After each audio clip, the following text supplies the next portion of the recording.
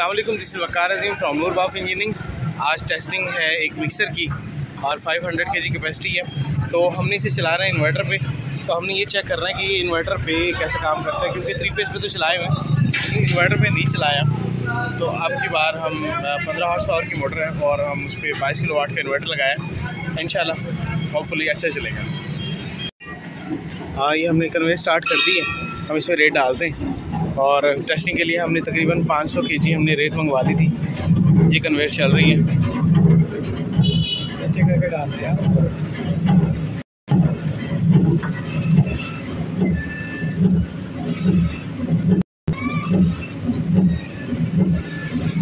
ये जिस वक्त कन्वेयर भी चल रहा है और मिक्सर भी चल रहा है। रेत गीला था, जिसकी वजह से हमें दिक्कत हुई तो डालने में। अभी डाल रहे हैं, थोड़ा सा रेत पड़ा हुआ है। तकरीबन इसमें 400 के जी रेत जा चुके हैं। और ये सिचुएशन है कि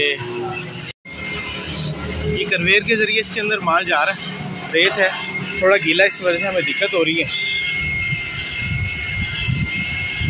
इसमें तकरीबन पाँच सौ के जी जा चुका है और ये बकाया है। ये भी चला जाएगा।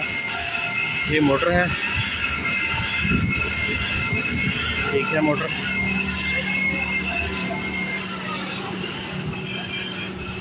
और ये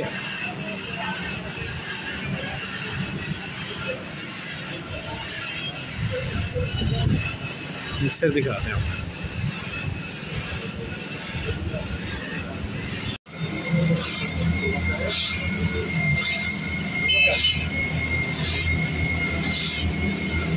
ये 500 केजी प्लस इसमें चल रहा है और ये हमने चलाया हुआ है इन्वर्टर पे।